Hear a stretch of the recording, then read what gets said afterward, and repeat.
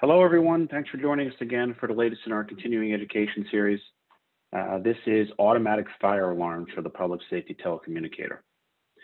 My name is Lee Sentell. I'm with the Rockland County Sheriff's Office here in downstate New York. Uh, Rockland County is actually the smallest county in New York State outside of the five boroughs of New York City, but we're pretty well populated. We have a population of about 325,000, and our semi-consolidated countywide PSAP uh, in 2020 answered about 256,000 uh, calls coming in, about 100,000 of which were 911 calls, and the remainder were uh, seven digit or administrative phone calls. 2020 uh, was a kind of an unusual year for us in terms of call volume. We typically, it's typically the other way around. Typically, we take a few more 911 calls and a few less uh, seven digit calls. So there's my contact information up there on the screen. As I say every time I do one of these webinars, I hope you'll take the opportunity if you're so inclined. If you have questions, comments, concerns, feedback, corrections, anything else like that, please don't hesitate to reach out by phone or email. There's my email address up there on the screen. And um, we are getting ready to start up our in-person training within the next probably month or two. Uh, we had suspended our dispatch training academy for the coronavirus pandemic, but since it seems to be abating a little bit, hopefully we'll be able to start that again soon. So we always post our in-person training opportunities to Facebook first. You can see our Facebook page there. Uh, the handle is 44 Control. So if you're not following us on Facebook, please give us a click. And and uh, if uh, if it's one of the trainings, there are a few that we keep internally just because of regulatory reasons. But for the ones that we are able to open up to everybody, I hope you will consider joining us. Uh, some legal fine print because the lawyers make me mention it. Again, this uh, webinar is for informational purposes only, and although I'm presenting in conjunction with the training committee of the Atlantic chapter of APCO, I don't re represent officially the Atlantic chapter when I'm giving these presentations, nor do I represent APCO International. Uh, so uh, you should always follow your local uh, policies, procedures, laws, regulations, and anything else like that you have at your agency um, speaking of APCO, uh, the quick commercial, as I always do one before we get started on these webinars, you probably found out about this presentation through uh, the Atlantic chapter of APCO on PS Connect or one of the other methods that APCO Atlantic chapter uses to reach out to uh, its mem to APCO members. But just in case you're not an APCO member, I hope you'll consider after the webinar is over becoming an APCO member. Um, becoming an APCO member, when, when you join APCO International, you automatically become a member of your local chapter. And if you're in one of the states of the Atlantic chapter, then that would be the one you would get enrolled with. But either way, when you join APCO and by extension your local chapter, you get so many benefits. Uh, training, advocacy, networking, volunteer opportunities, career opportunities, uh, you know, uh, conferences, uh, both at the chapter and national level, and all kinds of benefits uh, so if you're not a member of APCO already, I hope you'll consider becoming one. It's not expensive. It's very fast to sign up. It only costs about $7 a month. Um, and it's super easy to sign up after the webinar is over. Just go to the website, www.apcointl.org slash join. You just put in your information and your credit card, uh, stuff like that. Only takes about five minutes, and then you'll be a member. I hope you'll consider it and thus end the commercial. So let's get into the content. We're going to talk about automatic fire alarms today, and I think a lot of uh, PSAPs or ECCs, whatever we're calling them these days, a lot of agencies are receiving calls for automatic fire alarms. Obviously, if you work for a fire-based dispatch agency, or if you're an agency that does a lot of fire dispatch, then of course, you're going to get a lot of these alarms. But even if you're not, if you're working for a, a say, a law enforcement agency and you're doing law enforcement dispatch, there's a good chance you're getting these alarms also. Either um, you're going to pass the information on to the fire department. Uh, maybe you work for a law enforcement agency that also dispatches the fire department, or we're one of those agencies. Uh, or maybe you dispatch law enforcement officers to the scene of alarms when they come in, along with the fire department, which we do as well. Uh, so either way, I think that most, or at least a, a good percentage of the of the PSAPs or, or, the agencies in the country are are dealing with some sort of uh, call volume regarding automatic fire alarms. So we're going to talk about uh, different kinds of automatic fire alarms, some things that might be helpful for you to know when you're receiving these calls, especially if you're going to be receiving calls from either a central station or from the public who's reporting a fire alarm sounding. So we'll talk about several different kinds of automatic fire alarm detectors, smoke detectors, heat detectors, and that sort of thing. We'll also talk about some of the automatic flood systems out there, some of the commercial and industrial sites that you may have in your district. Um, they may have uh, systems that are designed to suppress or extinguish fires when they start due to a high risk. Um, they flood the, the area with gas or foam. We'll talk about that. And we'll also talk a little bit about sprinkler systems, which is another kind of a uh, notification for alarms that you might get in your center where they're calling up to report that the sprinklers have gone off, which is uh, related to the fire department response. So, so let's get into it. First, let's just talk about what happens when when fire alarm systems get activated. Um, there's a couple different ways that those those uh, notifications, that those signals can be sent over to the agency that's going to be doing a fire and or law enforcement dispatch. Um, one kind of system that we see is the idea of local signaling. And a local signaling system, um, basically the notification about the fire alarm going off either doesn't happen or it doesn't leave the premises. Uh, certainly for like, um, you know, the, the smoke detector you buy at Walmart or whatever, uh, if you have in your house or maybe you have in your small your small office, your small business. Uh, if they're not tied to any kind of notification system, then they're just going to make the, the siren go off or the beeper go off locally. Um, they don't actually telephone an alarm company. They don't actually notify a fire department or anything else like that. Um, some businesses do have local signaling systems which are connected to somebody, but the person that they're connected to is someone who's actually at the site. So, for example, um, you know, like a security booth or the front uh, reception desk or something like that, where it does make a notification, but the notification doesn't leave the building. It just goes to the to the local uh, staff that's monitoring the, the panel or the fire alarm system and gets notified. But then that staff, that security officer or or or uh, staff member or whatever, is responsible for uh, calling the fire department or, or doing whatever else needs to be done when the fire alarm goes off. Uh, and that we have that, for example, in our in our area, we have a number of sites like that where, um, you know, where we might get the call from somebody at the security desk or at the you know the front desk or whatever, saying, hey, you know, we've got a fire alarm. Can you please send the fire department? So that would be a, an example of a local signaling system. Then we have a remote station signaling system. Um, this is a situation where the fire alarm is connected directly to your agency, directly to your ECC. Uh, this is used to be something that was much more common in quote unquote the old days. Um, today, a lot of agencies, a lot of police fire uh, agencies have given up on direct monitoring of, uh, of signals from alarm panels. Um, if your agency does, and there are some that do, um, we actually, this is a bread and butter for us. We, uh, local county law, the county law here in Rockland County requires that all commercial facilities within the county of Rockland be direct connected to us, and we actually monitor the, the, the systems for uh, for fire signals and trouble signals um, instead of it going to an alarm company like ADT or whoever.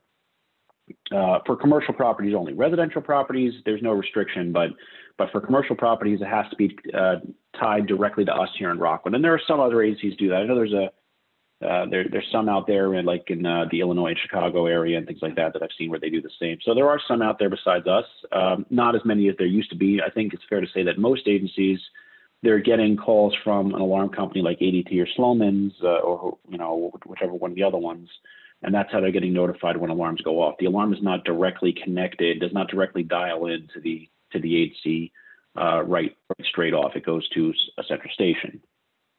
Uh, but if your agency has, some agencies have this where ordinarily they would not receive direct station they would not receive remote station signaling. It would go to an alarm company, but they may monitor their own properties. For example, our neighboring county over in Westchester, um, the fire dispatch center over there, uh, they monitor the county properties that are on the county campus there. That is directly connected, and that's something that they do receive directly. But if it's anything else, businesses, residential that are outside of the county property, uh, then it's something that goes through a central station. And speaking of central stations, that's the kind that I think most telecommunicators are familiar with.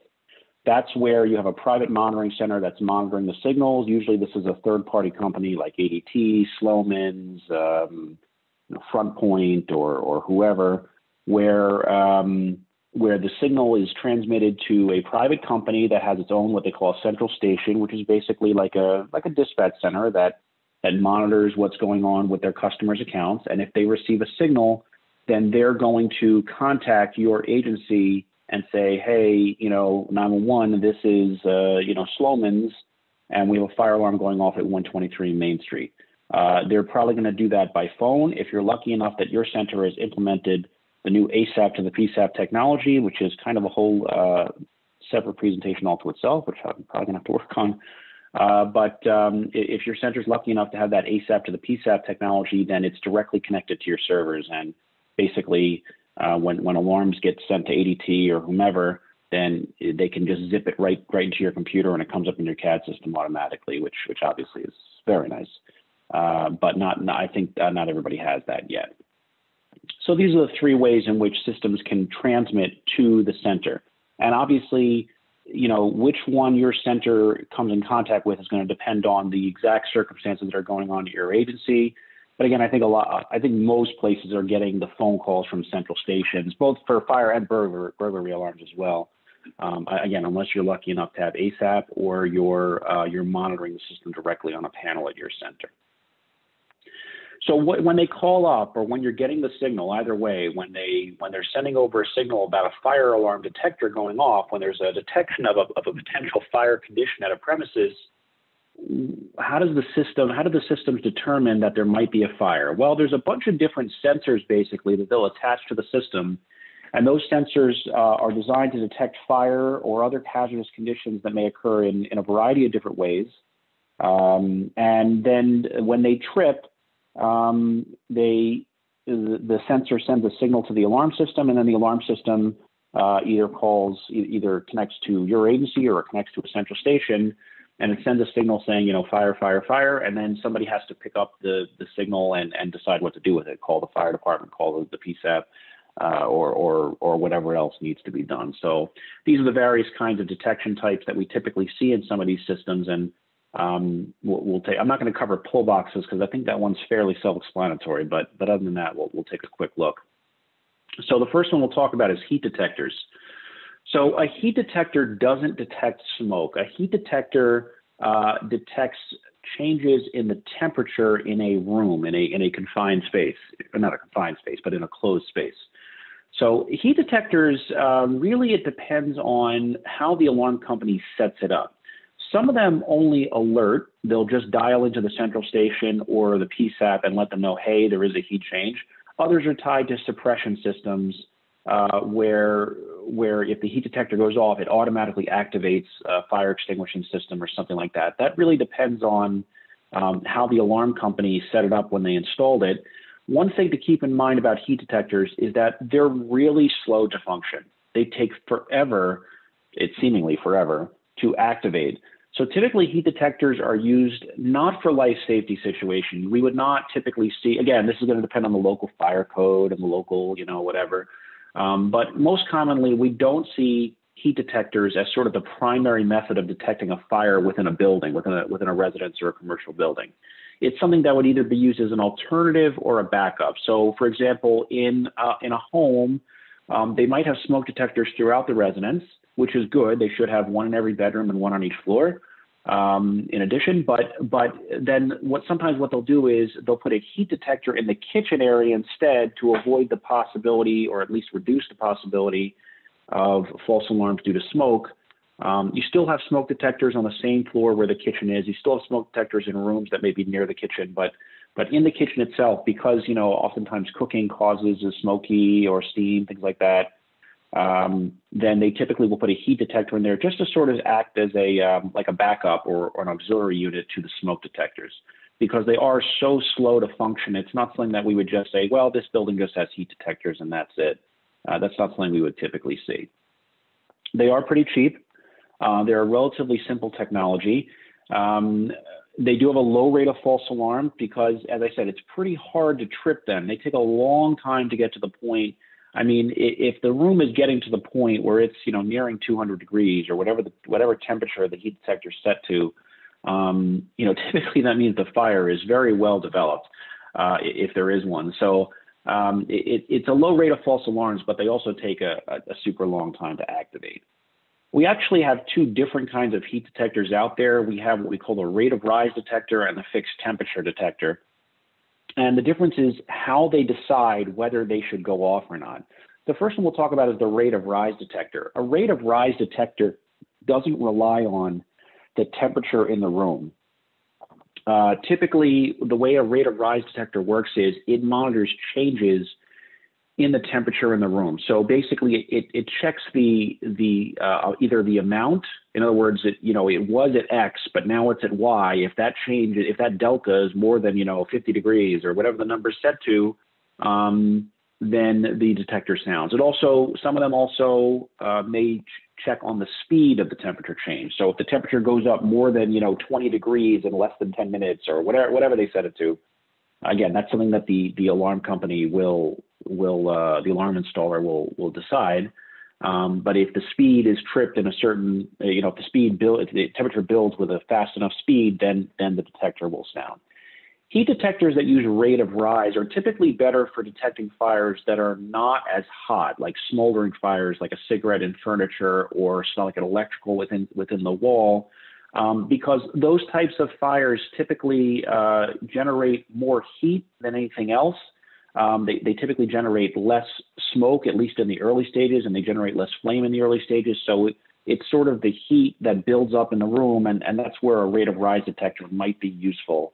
Um, again, there's no perfect detector that does it all, um, but that is one situation where they might want to check out the rate of rise. The, the other way of doing it is what we call the fixed temperature uh, heat detector, which is very simple. When the temperature in the room hits a certain magic number, the detector goes off. Um, usually, again, this is going to vary greatly depending on local code and, and the alarm company installer and things like that. Uh, but uh, usually that temperature is set to about 135 or 136 degrees. Some are set a little lower depending on if there's local code requirements or, or something like that, but, but usually it's 136 degrees. So basically when the temperature in the room hits the magic number of 136 or whatever it's set to, then the detector trips and sends a signal to the, to the alarm system. Many heat detectors work on both. They contain both the fixed temperature sensor and the rate of rise uh, sensor. Uh, and then, you know, the detector may require both to trip before it decides to send an alarm, uh, or it may rely only on one or, or whatever the condition may be. Those are heat detectors. So the more common one we would, you know, kind of be accustomed to, especially in the residential environment, is the idea of a smoke detector. And again, some smoke detectors do have heat detectors in them and, and things like that, but it really all depends on which one you buy and you know what uh, what what you pay for, or whatever. But um, the thing about smoke detectors and why they're so important, you know, we always hear these classes and these training from the fire departments and and, and such that you know the smoke detector is the most important one. Why is that? Well, first of all it's important to remember, if you're not familiar with it because you don't have a fire background, it's important to understand that, that when people die in fires, at least in the United States, um, when they die in fires, especially residential fires, um, the majority of those deaths are caused by the smoke and other hazardous gases that are a result of the combustion. There are some people who do, for lack of a better term, burn to death in the building. That does obviously, it, you know, it, unfortunately, it is a thing. But the majority, the vast majority of the fire deaths that occur when people die inside building fires and other fires, they typically die from from breathing trouble associated with breathing in the smoke, the hot gases, the hazardous gases, and things like that. Uh, so for that reason, that's one reason why a smoke detector is so critical in, especially in a residential environment, but also in a commercial environment. Smoke detector is so critical to alert residents to smoke conditions. We're going to watch a video a little later on that will demonstrate it, but um, you know, sometimes the smoke is really the part that's very dangerous, even before the fire is very, very big, even before the fire becomes something where people say, oh, oh, oh God, there's a fire, you know, let's get out. The smoke can actually be the more dangerous part long before the fire overtakes the, the room that you're in. So the smoke detector is super important when it comes to early warning um, of, of a fire or smoke condition, I should say.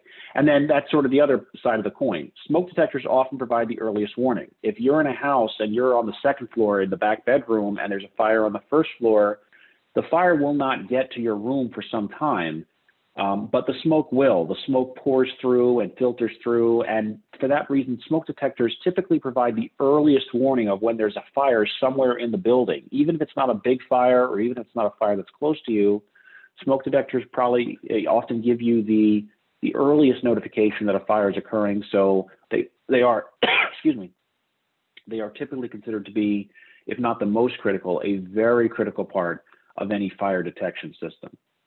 There's two kinds of smoke detectors. There's actually more than two types, but the big two that we typically see are the ionization type and the photoelectric type. photoelectric eye type. The ionization type is the most common one. Um, these these detectors actually have inside them, inside the, the case of the smoke detector, there's a small, small, tiny bit of radioactive element. Um, it's actually radioactive and it emits radioactive particles, um, the, the ions. And basically, kind of like an electric eye, but instead of using light, uh, the, the stuff that's coming out of the transmitter is radioactive ions. And those radioactives are detected by a sensor. When smoke enters the chamber, the ions, uh, excuse me, when smoke enters the chamber, the smoke blocks the ion flow and the detector is tripped, and that's, that's how ionization detectors work. Um, typically, ionization sensors are most commonly used for spot coverage. And when I say spot coverage, I mean coverage in an area where you really want to know if there's a fire starting in that particular area or that particular room. They may be tied to other detectors to trip them all, what we call a line, a, a, a line detection, but they're most commonly used for spot coverage. They're very fast reacting. The sensor uh, with the ions emitting from the radioactive material is, is very sensitive and it's fast reacting. So even if the fire is small, even if there's not that much smoke, the ionization detector can usually catch it pretty quickly. And also because the ion, the, the ions, it's using ion, radioactive ions to detect the, the, the, the fumes, the smoke, um, it doesn't rely on light. It relies on these sort of radioactive ions. Um, sometimes that the smoke detector, the ionization smoke detectors can detect certain components of smoke uh, and, hazardous gases that other detectors might not find out about it until it's too late. They, they tend to go off very early even when the human nose is not able to sort of really pick up the smell of smoke and things like that, or, or the, the gases caused by combustion. So they go off super quickly, and that's great to give you, you know, to give the, the occupants of the building a chance to evacuate before it's too late. Um, of course, the downside to ionization smoke detectors, because they're super sensitive, they're super prone to false alarms. Steam, uh, dust, you know, anything that's in the air that can get in the way of that ion transmission, that ion uh, sensor, can really cause these things to go off. So they can be annoying sometimes in the fact that they go off with way too many false alarms. They're also prone to static electricity. Um, if there's like a lightning storm outside or something like that, and there's a big, uh, you know, clap of thunder, it can make a lot of the fire alarms go off in the area if it's, it's super strong uh, local lightning, um, because the static electricity also trips the detector um, and, and, and causes the fire alarm to go off. Uh, that being said, they are probably the most common that, that, uh, that we would see out there, especially in a residential environment. The other kind is the photoelectric one, and, and this is one where it's the same idea. It passes a stream of, of energy to a sensor, but in this case, it uses a light beam. It uses like an LED or something like that uh, to detect when there's visible smoke, when the smoke enters the chamber and, and, and gets in the way of the light beam, and then the detector goes off. Unlike the ionization ones, these actually rely on the physical blocking of light coming out of the, the light, the, the, the LED. Um, so they typically can't detect these invisible gases and things like that. And, you know, that being said, they are pretty sensitive and they're still prone to false alarms from steam and dust and all the other stuff. They're not quite as sensitive to the static electricity, but certainly steam and dust and dirt in the air and things like that. If you're in like a bathroom or a basement or something like that, or, or, or a kitchen, and, and you can get a false alarm from these sorts of detectors. Some smoke alarm detectors have both ionization and photoelectric, and again, they may use a combination of signals or things like that. Um, and again, just like the ionization detectors, you might have this in a spot area where you want to have it in one particular area where you're worried about a fire starting, like a bedroom or an industrial spot. Um, or it might be what they call a line use, where it's a generic uh, detector in like a hallway and things like that. And it, when it goes off, it trips all the fire alarms in the building. I'm going to show a quick uh, video from a local news report about the difference between uh, photoelectric detectors and ionization uh, smoke detectors. Let's just uh, take a quick look at that. We all have smoke alarms in our homes. Uh, we go to the store, grab one off the shelf, put in a battery, and install it. But paying attention to the type you use can make a big difference in how quickly your family is alerted to a fire. WCCO's Jennifer Mayerle put smoke alarms to the test, and what she found prompted a Minnesota fire marshal to change what he has in his own home.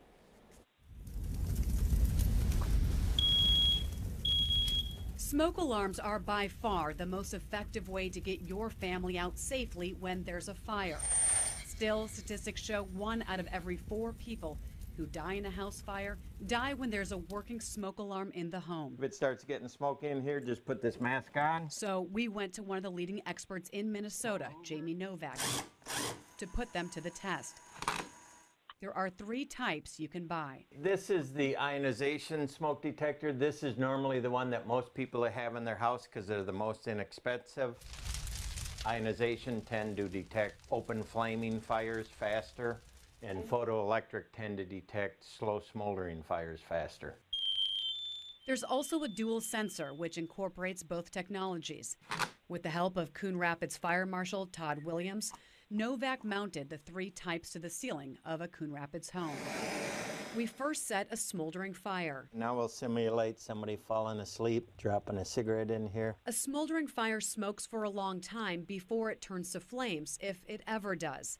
The majority of people who die in a fire die from breathing in too much smoke, not the fire itself. A lot of the slow smoldering fires tend to be at night when you're asleep and not going to react. A slow smoldering fire during the day isn't that big and dangerous because you should notice the smoke and have plenty of time to get out. The dual sensor is the first to sound 32 minutes and 40 seconds after the smoldering fire started. 10 seconds later, the photoelectric starts to blare. You can still see clearly through the room. Another 15 minutes go by, and the smoke started to irritate my lungs. and it's starting to bother my eyes, so it's time to put the mask on. This will help me with my breathing. As time ticks by, the ionization smoke alarm still hasn't sounded. It becomes harder to see through the smoke. Novak eventually needs to put on a mask, and Williams decides it's time to retreat. definitely want to get out of this room. So if I would wake up without a smoke detector sit up in this smoke condition, it would really be tough. Then you factor in uh, sleeping and darkness. It would be scary at this point to get out of your house. Nearly an hour after the photoelectric and the combination smoke alarm sounded, the ionization smoke alarm finally went off. I truly is surprised at the big difference between the two. So, how do the smoke alarms fare in a flaming fire? We're going to show you. This is your kitchen fire or children playing with matches.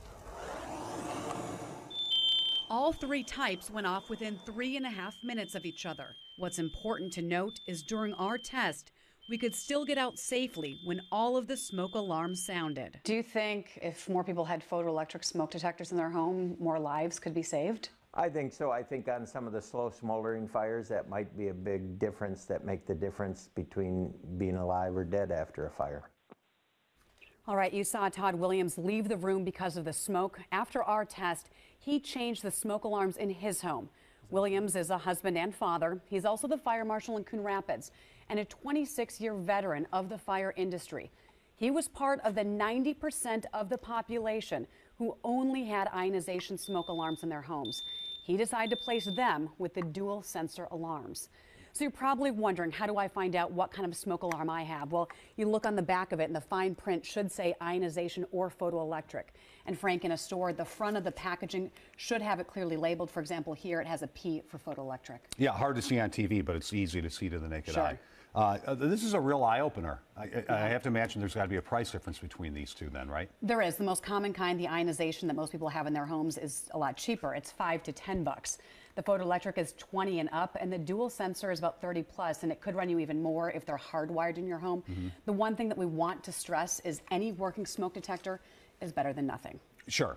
And there's a dramatic difference then you showed us too as There well. is a dramatic difference Yeah. between them. Okay, so yeah, so I mean, there is a difference between the smoke detectors, and and uh, again, some people get upset because of the false alarms or, or whatever, but um, but it is what it is.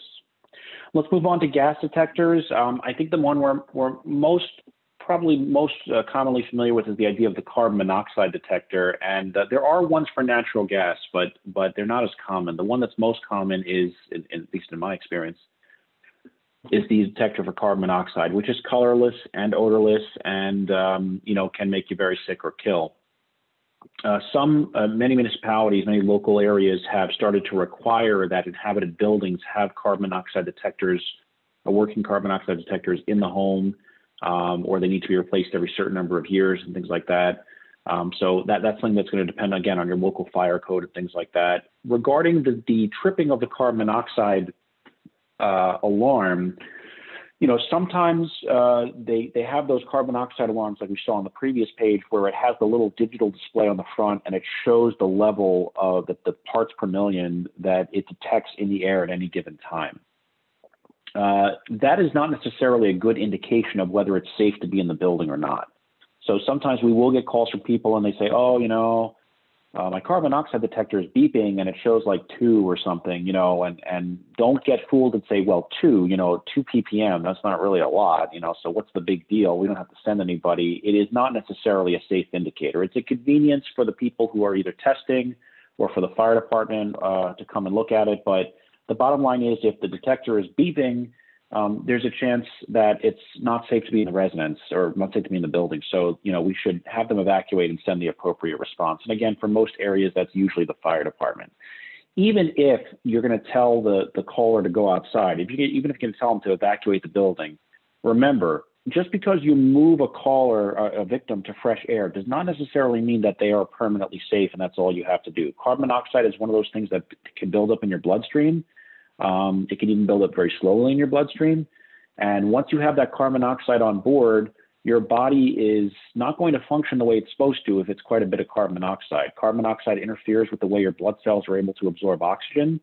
Um, and you need to have treatment at a hospital to get rid of that carbon monoxide. It's not something where, you know, it's not like where you can just go outside to fresh air and stay out for an hour and then you'll be fine and go on with your, life. I mean, you might, but um, it, it's something where fresh air alone may not be enough to ensure that the person is going to be healthy and safe long term. So just telling a caller to just, you know, go outside and and don't worry about it and, and get it checked later by their plumber or whatever is not necessarily sufficient. It's going to depend on your local agency's procedure, but um, the you know response of the fire department or another emergency service agency uh, in many cases is going to be appropriate in order to make sure that everybody is healthy and safe and to make sure, especially since you know, especially if the person's going to go back, going to want to go back into their home or whatever, um, so, so just telling them to step outside and, and, and you know come back later or whatever is not really a, a, a sufficient resolution for it, regardless of the amount of carbon monoxide involved, even if it's a small amount.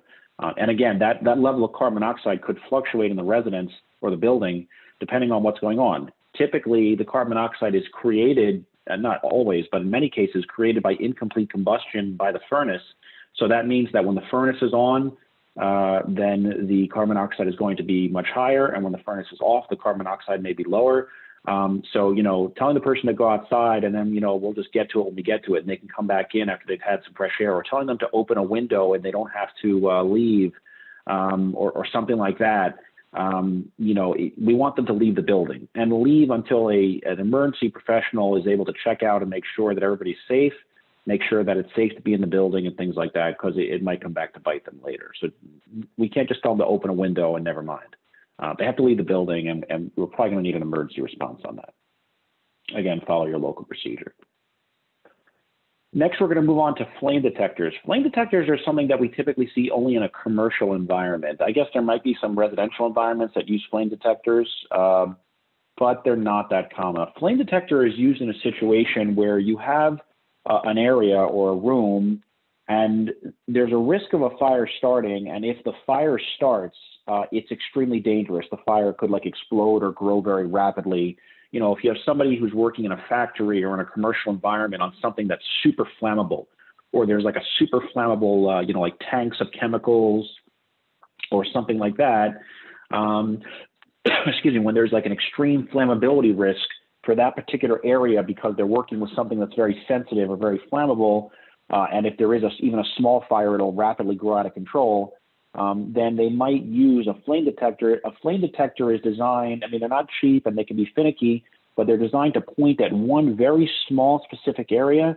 And if there's even the slightest hint of a fire or a flame, um, then then they trip immediately and, and they go off very quickly, which is which is sort of what they're designed for. There's a couple different kinds. The ultraviolet kind uh, is able uses a special sensor that's able to detect the ultraviolet light, which is caused by fires, um, by certain fires, many fires. When the flames burn, they emit visible light to the naked eye, but they also emit ultraviolet light, um, and uh, and that ultraviolet light can be detected by by the detector uh, and then it can it can trip. Now, other things, especially in a commercial environment, can cause ultraviolet light. Sunlight has some amount of ultraviolet light in it, So you'll see uh, the um, the the ultraviolet detector is going to have one of those little like uh, hoods or canopies over it to try and prevent uh, sunlight from getting in, you know, from accidentally tripping the detector erroneously from a shaft, of, from a beam of sunlight or whatever. Uh, welding is another one that can cause uh, ultraviolet light, and obviously in a, in sort of industrial environment, a commercial environment, that's something that could very much be a thing. Someone could be welding. Uh, so, you know, they do require a little bit of care in how you place them and how you use them so you don't get erroneous false alarms. Uh, of course, you know, it has like a glass cover on the front of the sensor. Um, and if there's dust or moisture, then the, the beam that it uses to detect uh, the ultraviolet light can, can be occluded. Uh, so, you know, again, a lot of the times these sensors are like in a commercial environment. So, uh, you know, if that's the case, you got to make sure that you keep it clean so that they're not accidentally tripping due to the dust, moisture, and, and things like that that you might see in an industrial type environment. The other kind is the infrared detector. They don't detect the ultraviolet light. Um, they detect the infrared light, which emits from the flames. Again, it's possible to get a false trip on these detectors from things like sunlight. They also have a fairly limited distance range, so they really have to be sort of close up, real close, like within, say, a few feet of the affected area, and they can only cover a small area. They're really super spot sensitive. Um, but they are very, very good for really fast spreading fires. If you have an industrial environment where someone is working with like a very flammable substance or a very you know dangerous sort of situation, and if there's any kind of spark or flame, it's really just going to whoosh. It's just going to go up real fast um, the the infrared detectors can do a quick reaction to that, and especially if you're going to combine it with like a suppression system, you're going to tie a fire extinguishing system to it, and that way, if the infrared sensor goes off, it really it floods the whole area, which we'll talk about in a minute. It suppresses the fire to keep it from spreading or give people a chance to evacuate and things like that. We do sometimes see where they have a combination of both the ultra the ultraviolet. I'm sorry, I have a typo on that. Uh, combination of the ultraviolet light and infrared sensors in one detector um, and then the way they do that is it doesn't trip the alarm unless both the ultraviolet and the infrared sensors go off. Uh, and then if both are activated, then it trips the alarm in order to reduce the possibility of a false alarm. So that's something you might see like in a commercial or industrial environment. Suppression systems, uh, these are systems that are typically tied to um, either they can activate independently, but they might also be tied to an alarm system. So they might activate by themselves and try to put out a fire. They might be tied to the alarm system so that if the alarm system goes off, then the suppression system also automatically goes off or vice versa. If the suppression system goes off, then it trips the alarm at the same time. It really depends on the exact circumstances at the site and, and how they've set it up and everything else. The most common one we think about when it comes to suppression systems is the idea of a fire sprinkler system. And basically, it's just a system that's designed to automatically spray water on a fire. They're typically found in commercial buildings because commercial buildings, as a rule, depending on what kind of building it is, what you know, what's inside, if it's industrial, if it has hazmat or things like that, um, sprinkler systems are most commonly found in commercial buildings because of the higher risk, but they're almost they're, they're also found mostly in commercial buildings because businesses are willing to pay the added expense for having uh, the, the, the sprinkler system installed, or it may be required by code.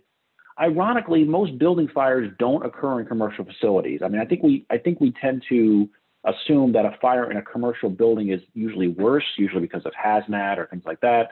Um, but the truth is, on a national basis, most building fires that do occur occur in residential buildings, not commercial buildings. So, for that reason, even though we find most sprinkler systems in commercial buildings, the fire service nationwide is really trying to urge homeowners to install fire sprinklers in their home um, because they're super important to protect lives and to some extent property.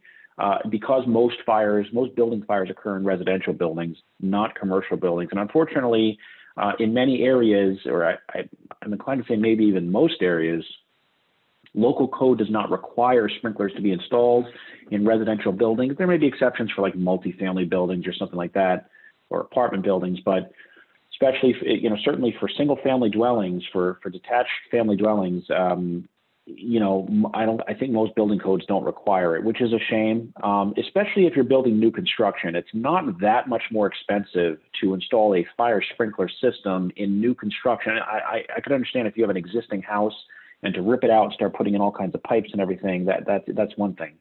Um, but certainly if it's new construction, it doesn't add that much to the cost of the building, and it's it's really becoming an important thing to have sprinklers in the home, and and and they they really do a, an important job when when building fires do occur. I think one misconception about sprinkler systems in general, whether we're talking about commercial or residential, is that sprinkler systems are designed to protect, first of all, lives. They're not designed to really protect property. Yes, uh, having a sprinkler system can prevent a fire from spreading out of control and burning down your whole house. They can sort of confine the fire to the room that was that it was in, the fire room. Um, but that's not necessarily what they were designed for. They're designed to protect lives. They don't, in many cases, put out the fire. And if you watch these sprinkler, you know, demonstration videos, or even the real ones, if you get the chance to watch one, and there are plenty on the internet, we'll watch one of them, if I'm not mistaken, during this presentation.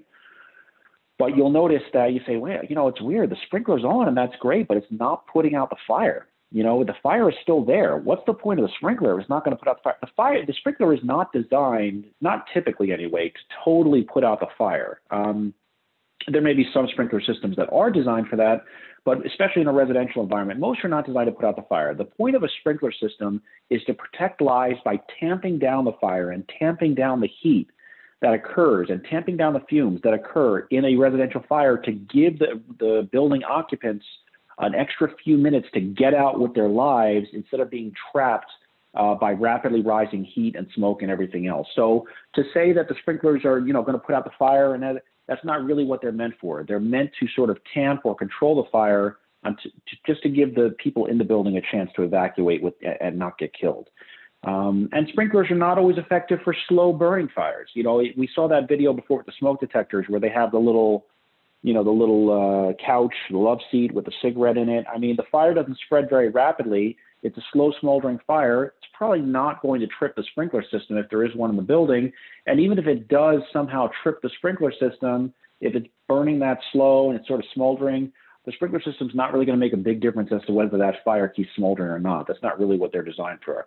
Sprinklers may also not always be effective for what, you know, the big flash fires, like we said, in an industrial environment where it flashes up and it, you know, it's suddenly this huge, you know, fireball that flashes up and starts.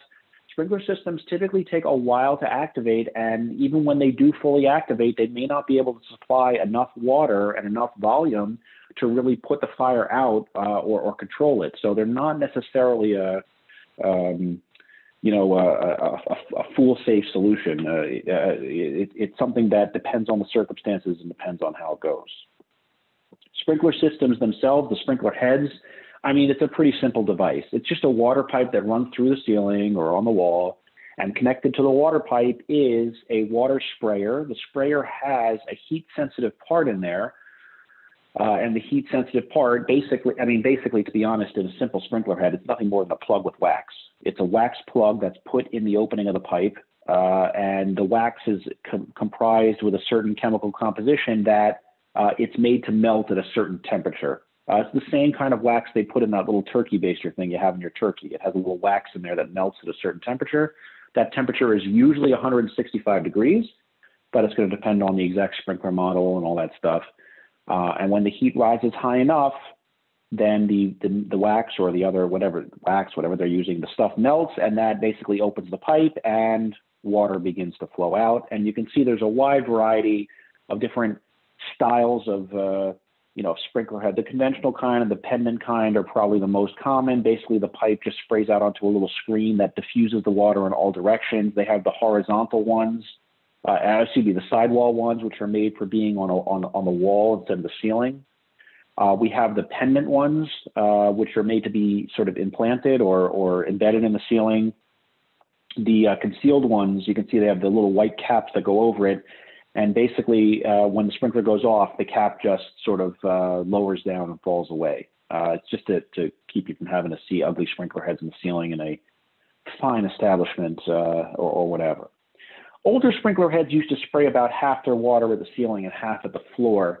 Um, I'm not exactly sure why they used to do that, and I can't seem to find any literature on why that is. And I, I, I may be old, but I'm not quite that old yet, or at least that's what I'm telling myself. So I don't really know why, but I do know that the newer sprinkler heads, they just, I'm guessing it has something to do with cooling down the room or maybe preventing the fire from spreading upward through, you know, into the cockloft or whatever. But Either way, newer sprinkler heads typically direct all of their water to the floor, and that's going to result in a, in a nice flood onto the floor, which is, you know, um, part of the downside of sprinklers. They can cause da- property damage from from the water flooding, but I guess that's better than dying in a fire, which is, you know, sort of the something we're trying to avoid here. Some newer sprinkler heads try to deal with the water damage situation by having the ability, a little more advanced technology. It's not just a wax plug that melts away and then the pipe's open forever until you turn off the water. Some newer sprinkler heads have the ability to sort of open and close as needed depending on the temperature change. So when the temperature in the room hits 165, the sprinkler open and water be and water begins sprinkler opens and water begins to flow if the temperature, you know, if the sprinkler is successful and the temperature in the room begins to fall, once the temperature drops below 165, then the sprinkler head closes because we don't need that extra water coming out now. And that helps to at least try and prevent some of the water damage that can occur with the sprinkler head flooding out onto all the floor and everything. Um, and if the temperature goes up again, if the fire starts to flare up again and the temperature goes up again, the sprinkler head opens back up and, and it just sort of seesaws back and forth until the fire is, is eventually extinguished. Those are obviously more expensive and complicated, but they can help reduce at least some of the water damage associated with sprinklers. Another type of uh, difference we see in sprinkler systems is the idea of a wet sprinkler system versus a dry sprinkler system. So a wet pipe sprinkler system has water in the pipes at all times. Basically, the water is all charged up in the pipes under pressure. It's ready to go the water is basically right at the tip of the sprinkler head there. And if the if the if the if the sprinkler opens, if the sprinkler is tripped, the water rushes right out, starts putting water on the fire right away. It, that's better than a dry pipe system where the dry pipe uh, system there is no water in the pipe. The water is the, the pipes that lead to the sprinklers are empty, and if the sprinkler head opens up, then the pressure is changed and the water comes rushing in from the source and, and things like that. So wet dry wet uh, wet pipe sprinkler systems do provide water much more quickly in the event of an activation, but there's downsides to wet pipe systems because number one, you can't use them in areas where the pipes might freeze. If you have a sprinkler system that's outside or in a building where the temperature might get close to freezing or, or in a refrigerated area or a freezer area or something like that, then you can't have a wet pipe system because the pipes are going to freeze and, and you're going to end up with a horrible mess. Likewise, these sprinkler heads can sometimes leak and or, burst, and then you have water spraying out all over the place. So sometimes wet wet sprinkler systems can be a real annoyance because they can cause bad water leaks. Uh, you know, if something goes wrong with the pipe. And then the other side is the other type is the dry pipe sprinkler system. So there's air in the pipe, and basically, if the sprinkler opens, then the water has to flow from wherever it comes in from the street, from the utility room, and it's got to make it up to the floor where you know you need the water and then and then the water comes out. Typically, that takes a little longer to activate. That can take several minutes for the water pressure to build, depending on you know how it's constructed and how big the building is. That could take a few minutes for the water to sort of build up and get out to where the sprinkler is and get out on the fire. Um, so that's a downside, but uh, you know they're also much more complicated and expensive than wet pipe systems because you have to have it set the right way and all installed the right way. Um, but obviously, if you're going to have an area where the pipes might freeze, then you definitely need a dry pipe sprinkler system because otherwise, you know, the, the, the pipes are going to freeze and you're going to have all kinds of trouble.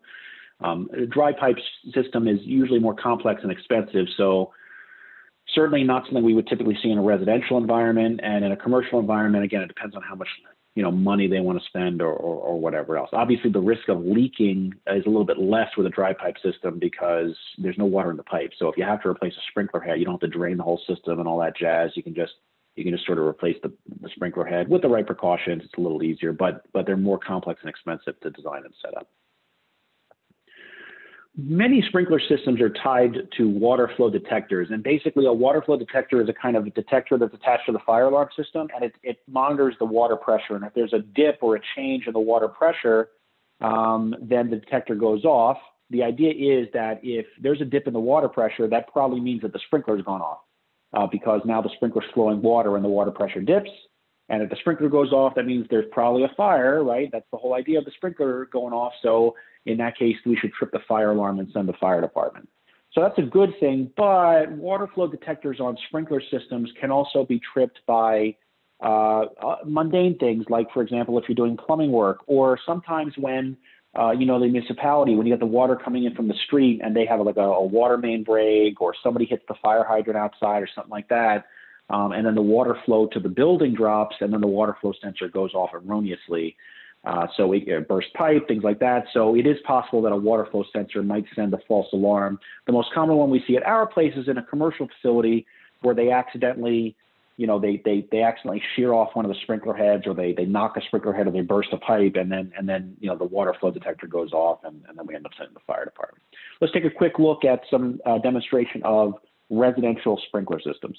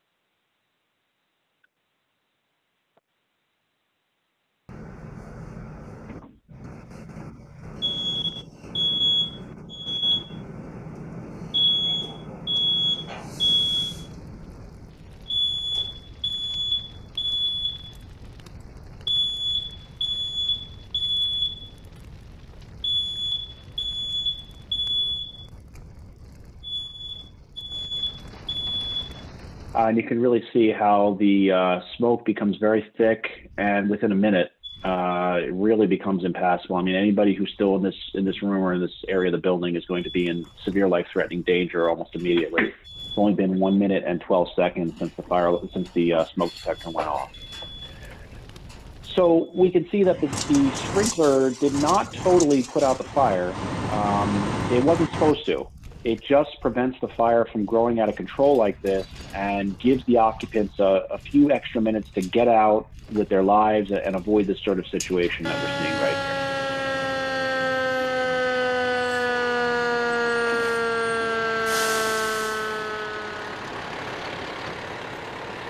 Uh, sprinklers can also help the fire department by uh, by giving the fire department the ability to get in a little more easily and help anyone who's in the building by you know by tamping down the fire, by tamping down the smoke, uh, and, and give firefighters a bit of an easier time to get into the building and make entry.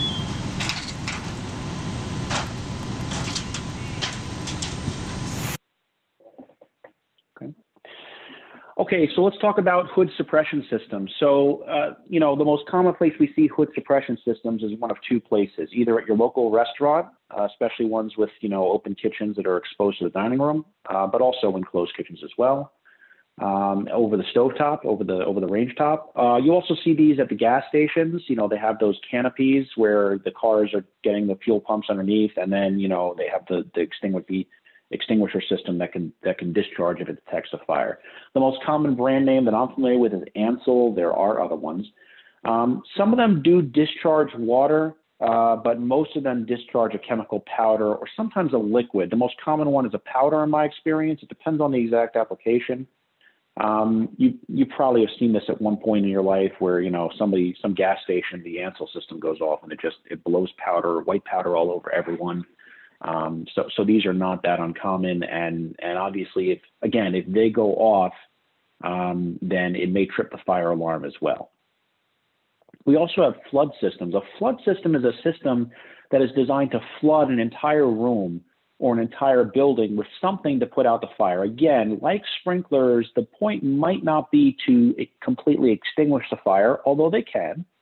Um, but the real primary goal of these uh, flooding extinguishing systems is to sort of tamp down the fire or control the fire so that uh, people can get out without being killed and the fire department can get a head start on, on putting out the fire. There's two different kinds. We have our uh, foam ones and our gas ones. The foam ones discharge foam onto the floor. Typically, these are used in situations with like uh, fuel fires and things like that. Uh, the foam is designed to uh, either prevent the fire from starting, or if there is a fuel fire in progress or some other fire in progress, to um, to extinguish the fire as quickly as possible. Um, we're going to take a quick look at um, one of the biggest foam systems that I've ever seen, which is at uh, the the the hangars that NASA uses to to work with aircraft.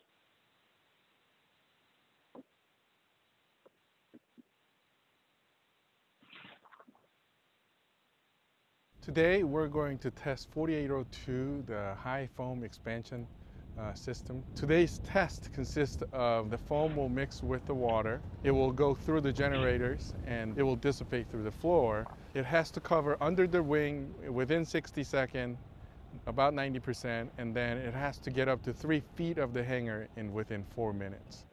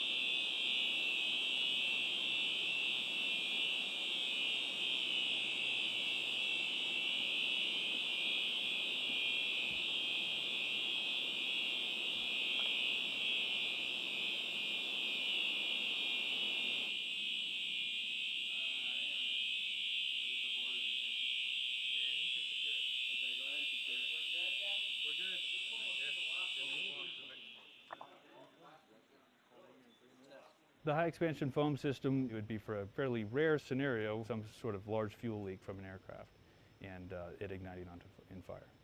The test was a success. It was a pass. Uh, they hit the criteria for both of the time marks that we were looking for. Um, on that, we're still waiting for the readings on the foam concentrate levels. Uh, they will test the concentration of the foam to make sure that we had proper mixing.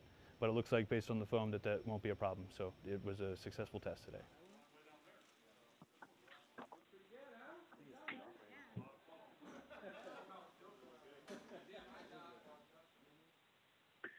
Yeah, and that's something that we would often see is something placed like a, an airport, a large industrial facility, a factory line, things like that, where they're working with fuel and other things where they might want to have the foam system discharged in the event of an emergency. And of course, if we have firefighters who are responding to that sort of uh, location, or if there's a suspicion that the foam the foam system is deployed, then we definitely want to let the fire and other responders know, so because being in that area when the foam is discharging might be unsafe.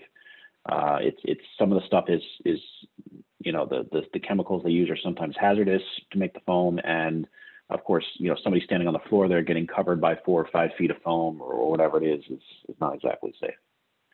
We also see the idea of a flood system that uses gases. Um, basically they smother the room with gas that's kept in compressed tanks um, and these gases help to tamp down or extinguish the fire in various ways. Now, there are a lot of different gases that they can use for this sort of thing. The one that they used to use was called halon. Um, halon is now not longer, it's not allowed for new installations in the United States anymore because it has certain environmental impacts. Um, but there are definitely other ones that they use. Uh, there are what they call clean agents, uh, like FM200 and the others.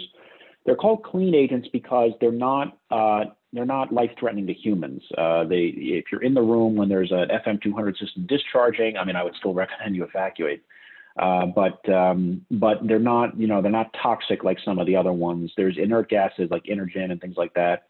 Um, but the one that I think is very, very common, which we see quite a bit in these systems, is carbon dioxide. Carbon dioxide is discharged from a tank into the room. The carbon dioxide helps to tamp or extinguish the fire without the use of water. And they would use these systems in a place where it would not be good to use water, like you have expensive computer electronics or you have chemicals that don't mix well with water or cause further problems. So we'll use the gases instead. Carbon dioxide is one that's very commonly used. Carbon dioxide displaces oxygen, so by uh, by affecting the amount of oxygen available to the fire, it helps the fire to go out or extinguishes the fire. Uh, the problem is carbon dioxide and some of these other chemicals that they use in these in these extinguishing systems.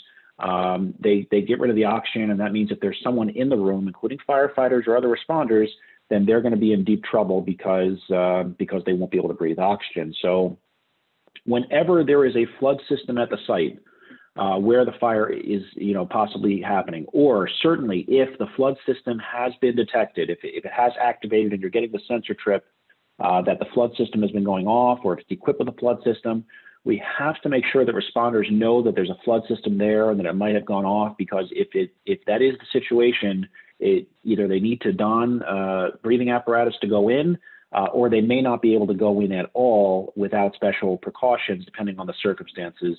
And certainly, we don't want them in there without special precautions, and all of a sudden the, the, the system trips and, and you know they're in trouble. Uh, so we want to make sure that we're letting the responders know ASAP if we have any inkling that there's one of these gas flooding systems, these gas uh, discharge systems uh, at the site where they're going to. I'm going to show a quick demonstration from one of the, um, the system manufacturers for these gas systems. This particular system is discharging carbon dioxide. I just want to, before I play the tape, it's a short tape, but I just wanted to mention it is very loud. So if you have the speaker turned all the way up, you might want to turn it down a little bit. Here we go.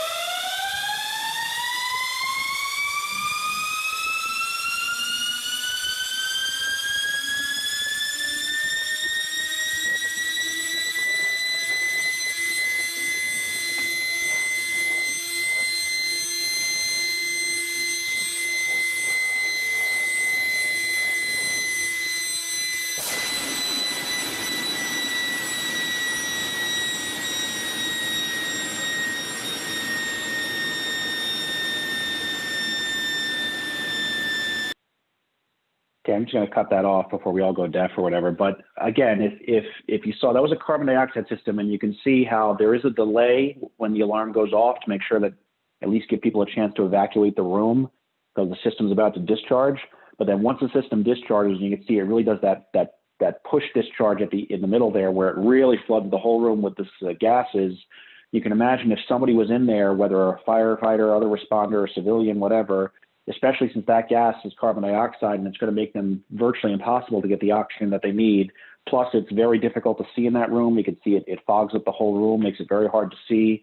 So, uh, again, if, if you know that the site or if you're alerted that the site has one of these systems, it's very important to let the responders know as early as possible. And we also got to make sure that uh, we tell the caller and anybody else at the site to evacuate immediately in case it goes off.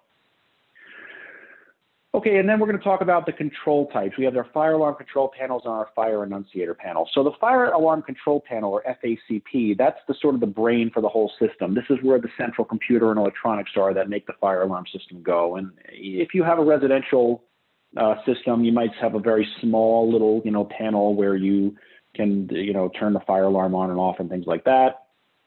Uh, of course, if it's a commercial facility like we see here, it could be a very large system with various sensors on different floors and, and all kinds of fancy things.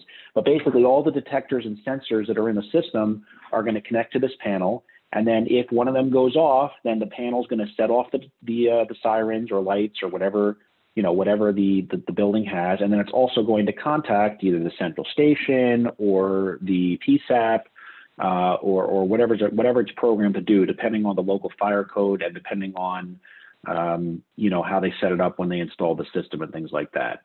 For the convenience of responders, they will typically have a small little panel right by the front door, right by the entrance called an annunciator panel. And the annunciator panel basically is just like a little remote control system for the fire alarm control panel.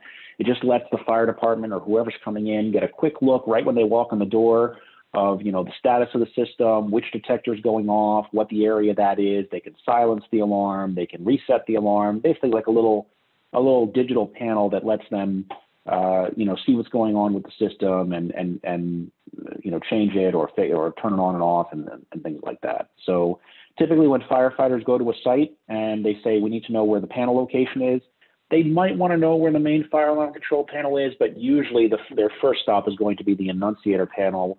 And some agencies, like ours, are required to give that to the fire department when they respond, especially for a very large building or a large facility. Um, they might need to know where the annunciator panel is so that they can go over there right when they get there and, and, and see what's going on with the alarm system. They know what area of the building to check, which detectors are going off, and, and, and things like that. Uh, lastly, regarding the kind of signals that we get, and again, this is something that uh, you know, if you're getting your your alert signals only from a central station, you might not get called by them unless it's a fire signal. Um, but if you're getting your signals directly, if it's connected directly to your agency, you're doing direct monitoring, then you might get some of the other ones. The most obvious one, of course, is fire. Uh, you know, either you're getting it directly on your panel, or the central station is calling you and they're telling you, hey, you know, we're getting a a fire signal from the site. Um, depending on how complex the system is, how fancy the system is, or how much money they've paid to have it installed, or how they have it set up, the uh, the when you get the call or this alert about the fire signal, they might be able to tell you the point or the zone, which is basically which area of the building or which sensor or detector is going off. Is it the first floor? Is it the second floor? Is it the smoke detector? Is it the heat detector? Is it in the bedroom? Is it in the basement? Uh, whatever the story is, um, but but uh, if it's a, a, more basic or an older system, then a lot of them just show fire and they don't tell you anything else. So then it's up to the fire department when they get there to see what's going on and where the signal is coming from and so forth and so on. Um, typically, with most fire alarm systems, once it's activated, they don't turn off. The visual and audible devices are going to go off until the system is silenced or reset. Um, some agencies tell callers to silence the alarms in, in certain circumstances, others don't. My personal opinion on this, which is not the same as what you should be doing, is that the devices should be sounding until somebody who's in charge, like the fire chief or whoever, is going to go over there and either silence or reset the alarm. Until then, they should go off to make sure that people know there's a fire alarm going off, to make sure they leave the building. Um, you know, and then when the fire department gets there, they can decide what they want to do in terms of silencing it or complete. Silencing means that it's still in fire mode, just the sirens stop going off. Uh, and then reset would be to sort of cancel the fire signal and return the, the system to normal operation. You might also get multiple points or zones coming in. Um, you know, multiple points or zones coming in. When you get the call from Slomin's or whoever, and they call up and they say, oh, you know, or ADT or whoever, and they call and they say, oh, we're getting signals from the second floor master bedroom and the guest bedroom and also from the bathroom or whatever. Um, you know, that could be indicating that there's a big fire in the house and it's setting off all the detectors and holy cow, let's get over there right away. Or it could be that there's some sort of malfunction, like a flooding condition or something like that, and then now all the detectors are being erroneously activated or, something like that. So, uh, the you know, if obviously if we if we are told or if we are somehow notified that there are multiple pointer zones going off, that we want to make sure we want to let the responders know so that they can check all the affected areas, every bedroom that's activated or whatever make sure that there's no fire in there that they need to know about. Um, we want to make sure that they're aware that there's multiple points going off and what those points are, what those zones, what those uh, zones are. And again, uh, you may not be getting some of these signals if you don't receive fire fire alarm uh, signals directly. But if you do receive them directly, you might be monitoring trouble signal. The trouble signal basically is just the fire alarm control panel telling you um, that there was a malfunction in one of the components of the alarm system. The malfunction could be with one of the detectors, it could be with one of the alerting devices, it could be with the panel itself, it could be with the wiring, it could be with the backup battery that's attached to the system. Uh, they could also be sending you a signal to let you know that there's a problem with um, the connection that it uses. It typically dials over a phone line, or uh, sometimes there's other methods, the internet, radio, things like that. Um, you know, some trouble, typically trouble signals are ones that, uh, you know, don't affect the entire system. You know, maybe one smoke detector is not working, but the rest of the system is operating normally. Uh, so it's calling to let you know that the alarm company or whoever's responsible for it has to come out and fix the problem so that that faulty detector or whatever is repaired. That's different from a supervisory trouble. You might hear alarm company, central station personnel talk about supervisory troubles. A supervisory trouble is a special kind of trouble signal And that's a trouble signal that happens when the fire alarm panel wants to let you know that there's a serious problem with the system. There is some sort of problem with the system that that is is serious enough that if there's a fire, then you know you might not be properly notified. So supervisor, you know, this would be like a situation where the phone lines are down, or the backup battery's dead, or um, you know, there's the, the panel itself is fried and it's going to like a backup mode or something like that, or it has multiple panels and some of the panels aren't working or something like that. You know, if there's a supervisory trouble, that means that there's a serious problem with the system and someone needs to fix it right away, please. So that's what a supervisory trouble is. We also have a timer test. Typically, panels send a daily check-in signal to the central station or to you. They call that a timer test or a daily test. Typically happens every 24 or 25 hours. Um, it'll just sort of check in and just to make sure that everything's working normally, the phone lines are working and that the, the communication is occurring, the systems aren't down and whatever. Um, if a certain amount of time, typically 24 or 25 hours goes by, excuse me, and uh, the signal is not received, then you may get what they call a, a, daily test failure or a timer test failure or late to test. It depends on uh, it depends on how they set it up. But basically, that means that uh, something might be wrong with the alarm system because it was expecting that daily test and it didn't get the daily test. So maybe somebody should go over to the site and check out to make sure that the alarm system is working properly and that there's power at the building and, and everything else. Um, and then we have our abnormal timer test. An abnormal timer test means that it sent its daily check-in, but typically what it does is a lot of these newer systems, what they do, they, they do a little internal diagnostic before they send their daily test, and they send the results along. Uh, so so if, if it does its little internal test before it does its daily check-in, and it finds out that there's a trouble with the system of some kind, it'll it'll check in and say, "Hi, this is the 24-hour daily test. Um, but by the way, while I'm doing a daily test, there's something wrong with the system that needs to be repaired. Please fix it." Uh, and typically they call that an abnormal timer test or an abnormal daily test. Uh, so that's an indication that yes, it is working. Yes, it is communicating, and the system is able to communicate and so forth. Um, then then then you did get the check-in, but it's not working properly. Of course, if you don't get it at all, if you don't get the check-in at all within 24 or 25 hours or whatever it's set to, typically it's set to a 24-hour cycle or thereabouts, um, then the central station servers will say, hey, wait a minute, it's been 24 or 25 hours. We have not gotten our daily check-in from that system. They call that a daily test failure or a no timer test. Something's wrong, and uh, you know we got to go check it out. Many of these panels are still using phone lines, plain old phone lines to dial in, like you know the old AOL days or whatever. Some panels have two phone lines just to make sure in case for redundancy or whatever. Again, depending on how they set it up, you might be getting trouble signals related to the phone lines. The newer panels are more frequently using uh, newer technologies like the internet um, to connect in. They dial it in over the internet, or they have internet with like a phone backup or something like that. Um, some can even use radios. Uh, they use a mesh radio system. Um, to, and uh, many municipalities require a number of radio-enabled panels in the area to make sure that, you know, if you just have one radio panel out in the middle of nowhere with no mesh connectivity to other panels, um, then that, that might be a bad thing. So some municipalities have specific regulations on what panels are allowed to connect via radio and you know, whatever, what panels are allowed to connect via the internet, do they have to have a phone line backup and, and all kinds of things. And that's going to depend on your local, you know, your local fire code or, or whatever the regulations are in your area. Okay, so we discussed information regarding detailed, detailed the details on uh, uh, excuse me, we discussed we discussed asking the alarm companies for detailed information on alarm signals when they come in. Uh, uh, one thing that we really do have to be very concerned about is if there's flood systems or other sort of hazardous suppression systems that might be at the site. And if so, we got to make sure that all responders, fire, police, and anybody else who's going to the scene, we got to make sure they're they're aware that those systems are there, especially if they've gone off or if we suspect they've gone off already. Uh, we want to make sure that they know that those are there so that in case it does go off or it has gone off, they don't get trapped in one of those rooms.